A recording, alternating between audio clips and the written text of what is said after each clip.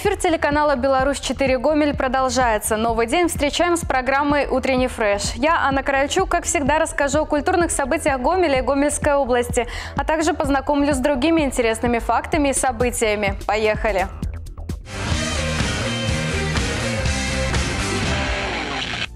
Как всегда, для начала информация от синоптиков. Сегодня на территории Гомельской области прогнозируется ясная погода, без осадков. Днем воздух прогреется до 8 градусов тепла. Ветер восточного направления скоростью до 5 метров в секунду.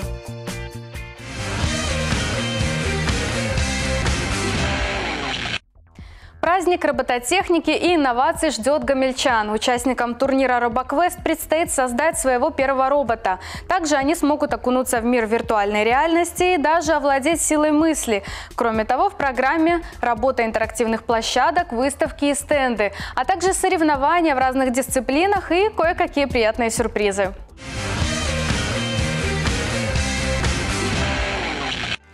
Посетители Дворца Румянцев и Паскевича смогут познакомиться с выставочным проектом без срока давности. Он посвящен 75-летию Великой Победы и объединит труд музеев разных стран. Вниманию гостей музея представят подлинные экспонаты. Они хранятся в фондах музея Дворца. Также частью экспозиции станут фотографии о деятельности поисковых отрядов Смоленщины. Материалы выставки расскажут посетителям о том, как шло возвращение имен неизвестным героям.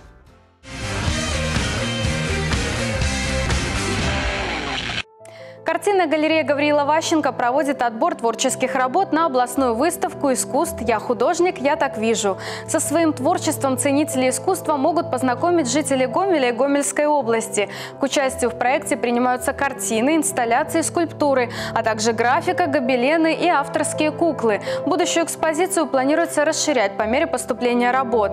Этот выставочный проект дает хороший шанс заявить о себе, поэтому стать его участниками предлагается не только профессиональным мастерам, мастерам, но и тем, кто впервые решил продемонстрировать свои таланты.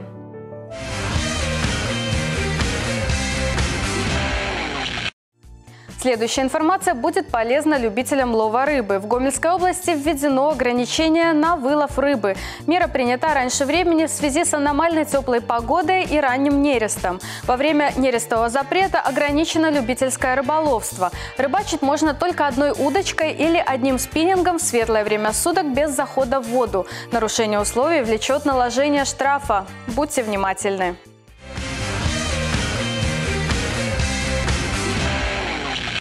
Интересный случай в продолжение темы. Невероятный улов попался жителю австралийского штата Квинсленд. Молодой человек отправился на рыбалку, и на крючок попалась крупная рыба. Сначала рыбак решил, что на наживку клюнула акула, но он ошибся. Это стало понятно, когда мужчина вытащил из воды двухметрового морского окуня. На то, чтобы улов оказался на берегу, понадобилось более 15 минут.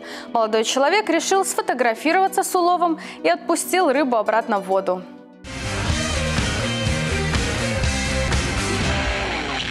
К другим интересным новостям. Уникальный подарок на свое 18-летие получила девушка из американского штата Индиана. Семья поздравила ее капсулой времени, которую прятали от именинницы целых 17 лет. Такая идея пришла к маме в первый день рождения дочери. Родители долго думали, что подарить годовалому ребенку, у которого есть все необходимое. Расстраивал и тот факт, что малышка, конечно, ничего не запомнит в первый праздник. Тогда и появилась идея создания капсулы времени. Все близкие сложили сложили в одну коробку что-то, что хотели подарить. Затем коробку спрятали на следующие 17 лет. Получив эту капсулу времени, девушка, конечно, не смогла сдержать эмоций.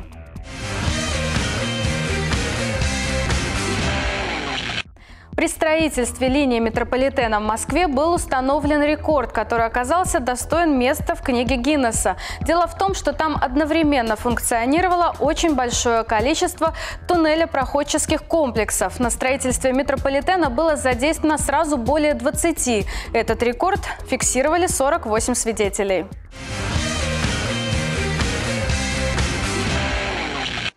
Теперь о братьях наших меньших. Задавались ли вы вопросом, почему к одним кошки приближаются без проблем, а других сторонятся? Знатоки характера этих животных рассказали, почему человек может нравиться кошке или раздражать ее. Итак, есть несколько типов людей, которых эти питомцы не любят. Прежде всего, речь пойдет о взрывоопасных людях. От них следует держаться подальше, чтобы не попасть под горячую руку. Люди, которые пренебрегают чистотой и порядком в квартире, тоже беспокоят кошек, которые сами по себе являются чистюлями. И еще один тип людей, которых сторонятся коты и кошки. Это навязчивые люди. Они то и дело стремятся испортить отношения с питомцами, постоянно проявляя ласку к ним тогда, когда им самим это не нужно.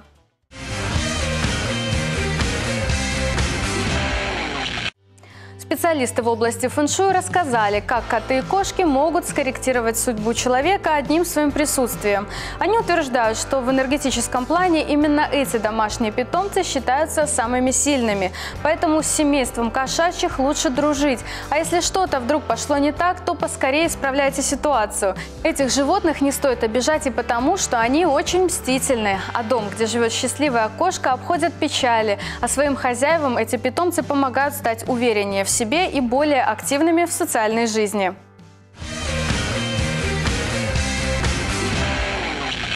А если говорить о собаках, то ученые изучили их поведение во время стрессовых ситуаций с владельцами. Участниками проведенного в Швеции исследования стали 58 собак и их владельцы. В течение года измерялся уровень кортизола как у хозяев, так и у питомцев. Уровни стресса таких пар оказались примерно одинаковыми. Ученые пришли к выводу, что подобная тесная связь сложилась в далекие времена. Скорее всего, собаки эволюционировали вместе с человеком и, соответственно, находятся в гармонии с его эмоциями эмоциями.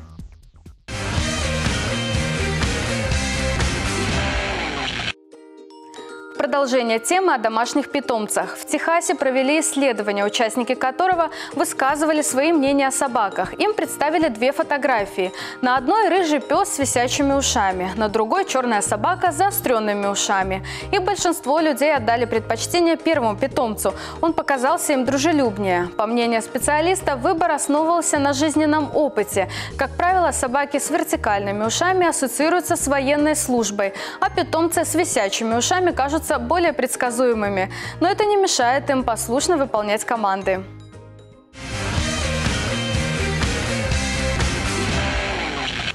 Английские ученые выяснили продолжительность сна, оптимальную для сохранения красоты и хорошего самочувствия. Не секрет, что несоблюдение режима сна пагубно отражается на здоровье. По результатам исследований, для сохранения здоровья и красоты нужно спать 9 часов 10 минут. При этом специалисты рекомендуют засыпать около 22 часов. По их мнению, именно такой режим сна может позволить полностью устранить последствия усталости, накопленной за день.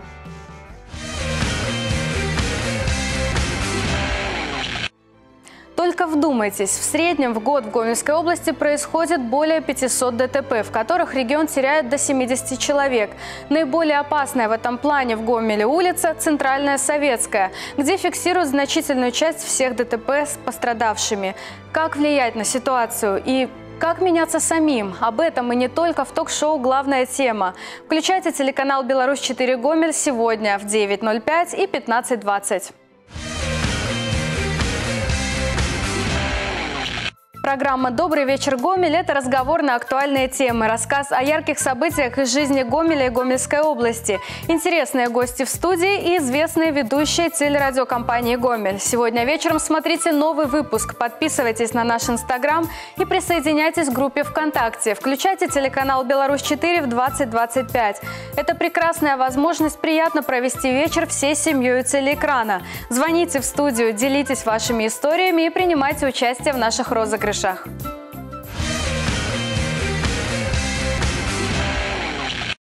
Новый день с вами встречали утренний фреш и я, Анна Корольчук. Пусть день будет полон улыбок окружающих людей, которые подарят вам только хорошее настроение.